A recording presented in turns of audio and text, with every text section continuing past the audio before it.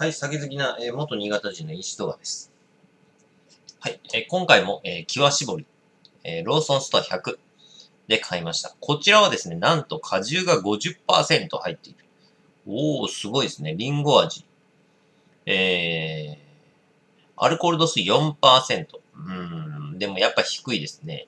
でも前回の、あの、パイナップル味に比べれば、アルコール、あの、アルコール度数3%じゃなくなった上に、あの、果汁が50%に上がってるわけですから、いいんじゃないですかね。うん。まだマシやけど。これでも、これで6%にしてほしかったね。アルコール度数。多分、原価的に無理なんやろうもう果汁を50%じゃなくて、これを30%にこれ、固定すればいいねん。だからなんでさ、アルコール度数もさ、固定してないしさ、果汁もさ、リンゴ味だけなぜか50%やし、意味がわかる。原材料が、え、リンゴ果汁と醸造アルコールと炭酸と、え、酸味料と香料と、え、甘味料です。これも甘味料入ってんのかよ。これダメだな。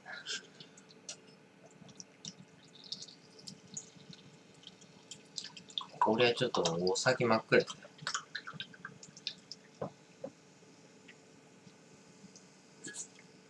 日は絞り。ああ、でも、50%だけあって、色が濃いですね。色が濃いですねっていうか、リンゴの色がほとんどアップルジュースで100%ジュース。乾杯。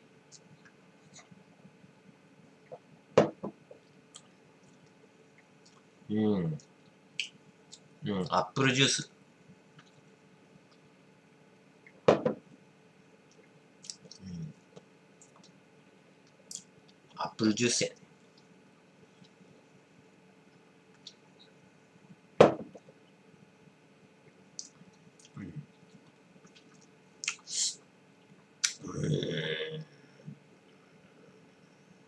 でもそんなに甘味料の味しないと思う。うん。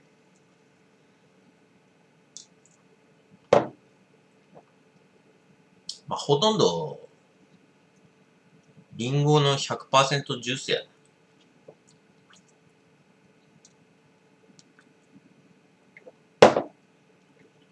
炭酸、炭酸入りの。だからなんでさ、そのさ、リンゴのさ、果汁を30%に抑えつつ、アルコール度数を6%に上げないのか。それがわからんねん。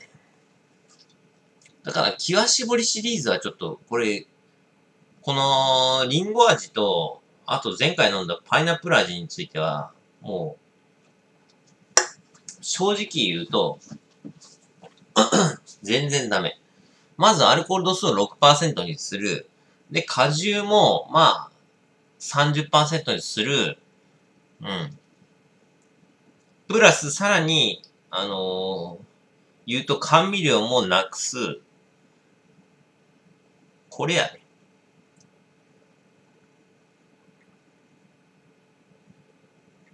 これしたらもう、あれ、あ、あ、また買ってやるわ。さらに言うと、それだけだとちょっとパンチが足りないので、あえて塩を入れてみて、うまいかどうかを実験する。うん。まあ、甘味料なくして、アルコール度数6%になっただけで、だいぶ改善すると思うけどね。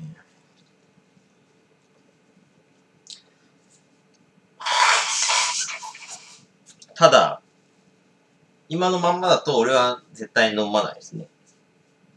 うん。まあ、一般的に見れば多分、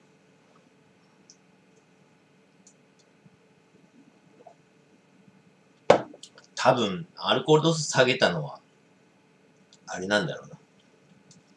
女性を狙ったんだろう。で、さらにリンゴ味と、そのパイナップル味。というスイーツ的な甘い果物を使用したことによって、多分、あの、女性をターゲットにしてる。逆に言うと、おっさんとかは、グレープフルーツ味を そのターゲットにしてるっていうか、うん。グレープフルーツ味はおっさんをターゲットにしてる。そういうことなのかもしれない。まあでもどちらにしても、うーん、まあ50%、果汁50%で100円で買えて、まあアルコール度数4%のリンゴチューハイが買えるっていうのはなかなか、うん。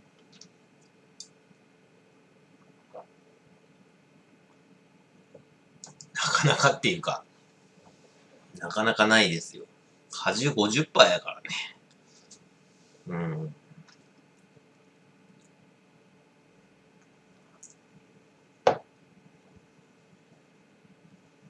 まあでも、どうなんですかね。そうでもないのか。でも、うーん。果汁50%。まあでも最近っていうか、チューハイ、最近はさ、普通に100円で売ってるは売ってるからね。チューハイ、うん。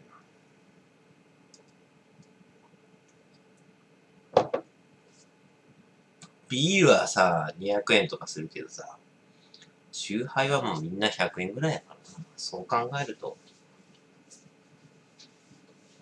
大して108円だからっつって、いいかっつうと、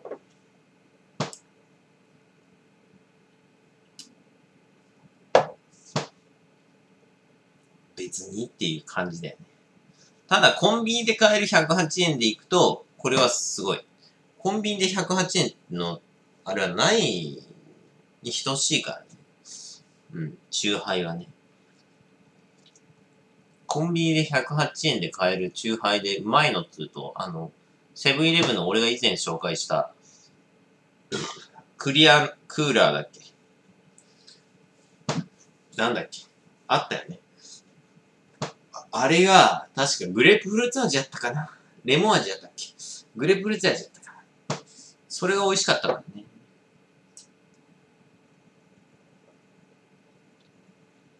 だから、うん。それ、それやね。あれは美味しかった。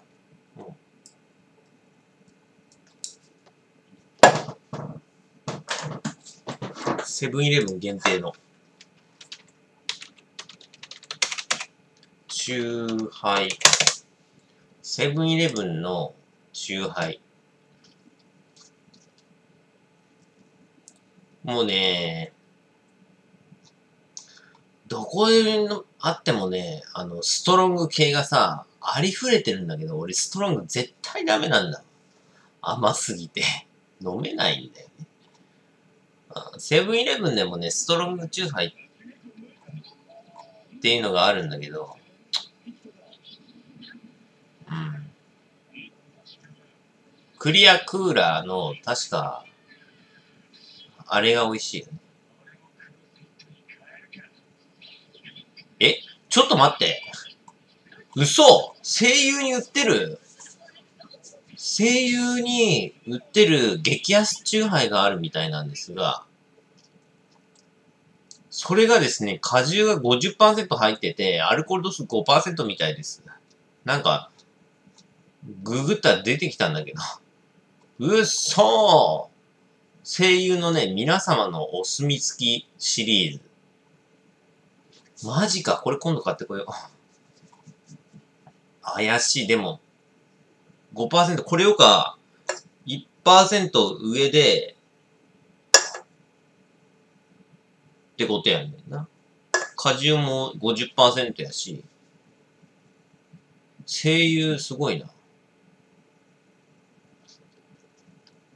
あの、割と近くに声優あるんで、あの、東京のね、に来てから、あの、新潟には見なかったですけど、声優っていうスーパーが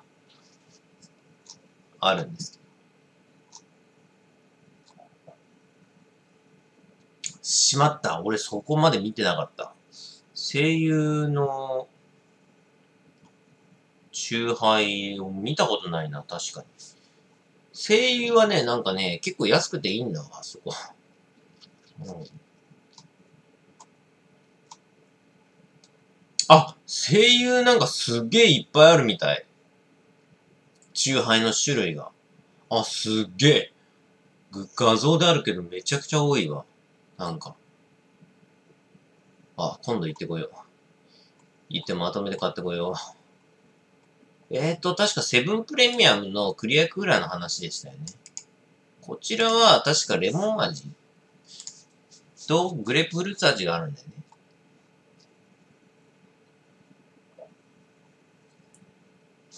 で、俺が確か飲んでうまかったのが確か、レモン味はうまくなかったって言ったから、確かグレープフルーツ味がうまいって言ってたんだよ。多分。こちらはウォッカを使ってるやつだね。ウォッカ使って糖類が入ってるけど甘味料が入ってないっていう、あの、まさに俺の、ね。チューハイで一番うまいのは、糖類が入ってて、甘味料が入ってないやつ。この法則に行くと、俺の法則にぴったり当てはまるんですよ、ね。で、それで言って100円だったかで売ってるよね。うん。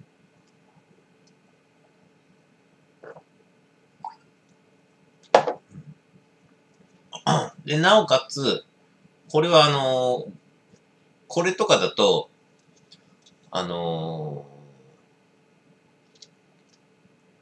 なんだ、醸造アルコールとかを使ってるんですけど、クリアクーラーはウォッカを使ってる。なおかつアルコール度数が6%とやや高めと。完璧ですね。完璧。今度声優でなんか買ってこよう。でね、よくあるストロング系のチューハイなんだけど、俺はまずくて飲めないあの、ので、あの、飲みません。一切買いません。絶対買う。あのね、ストロング系はね、もうね、あの、吐き気を催すレベルで、まずい。なぜかっていうと、糖類がゼロのくせに、あの、絶対大体ストロング系って糖類ゼロなんですよ。糖類がゼロな上に、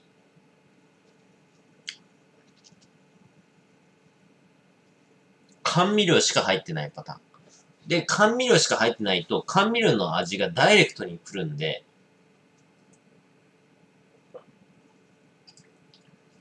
あの、ものすごいまずい。もう甘味料もゼロにしてくれって思うんだけど、アホなので、あの、あ、アホなのでも、あの、あれなんでしょうね。うん。ダメなんです。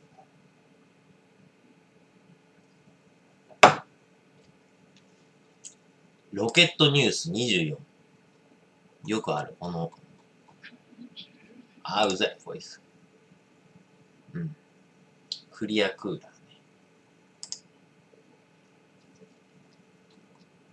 これはまずくて仕方ないですね。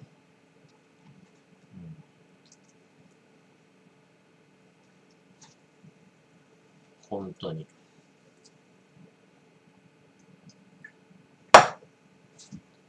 ストロング系が本当にまずい。冗談じゃないよ。本当にさ。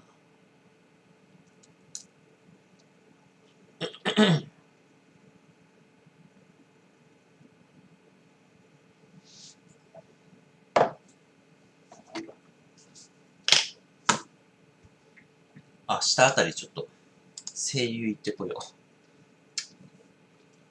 う。うん。コク、甘み、うん。まあ甘いですね。香り、うん。まあ、香りも。まあ、三つ星ぐらいや。なあ。えー、3533です。ご視聴ありがとうございました。